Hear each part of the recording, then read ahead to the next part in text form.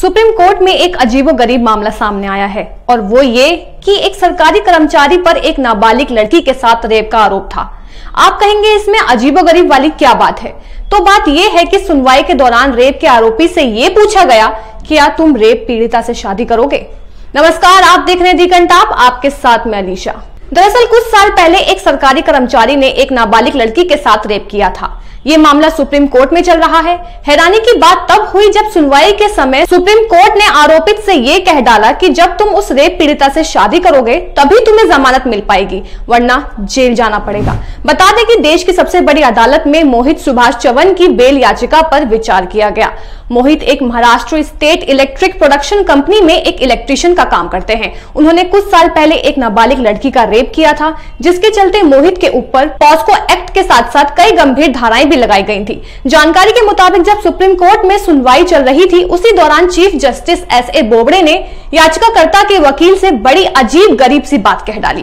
उन्होंने आरोपित से कहा कि अगर तुम शादी करना चाहते हो तो हम तुम्हारी मदद कर सकते हैं। अगर नहीं करोगे तो तुम्हारी नौकरी भी जाएगी और तुम्हें जेल भी जाना पड़ेगा क्योंकि तुमने लड़की को लुभाया है और उसका रेप किया है। बता दें, जब आरोपित ने रेप किया था, तब लड़की नाबालिग थी।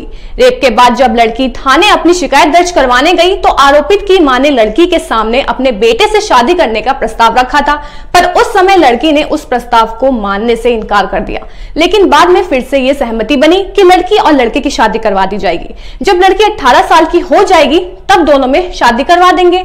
हालाँकि लड़की की उम्र 18 साल हो चुकी है। पर अब आरोपित ने उससे शादी करने के लिए साफ़ इनकार कर दिया है। इसके बाद पीड़िता ने केस दर्ज करवाया।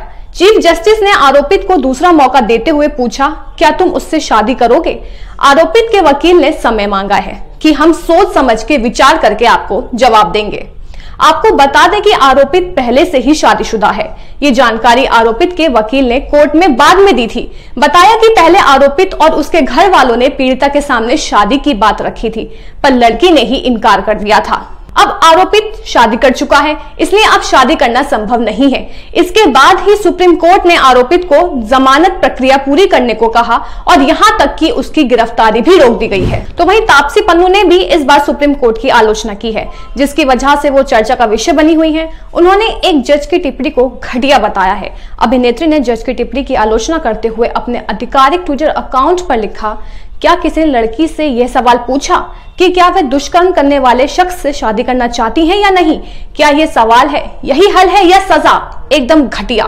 सोशल मीडिया पर तापसी पन्नू का ये ट्वीट तेज़ी से वायरल हो रहा है। अभिनेत्री ने फैंस और कई सोशल मीडिया यूज़र्स उनके ट्वीट पर अपनी प्रतिक्रिया दे रहे हैं। ऐसी खबरों के लिए देखते रहिए दिकंटाप हमारे चैनल दिकंटाप को फेसबुक पेज यूट्यूब चैनल पर लाइक करें सब्सक्राइब करें शेयर करें और बेल आइकन दबाना बिल्कुल ना भूलें।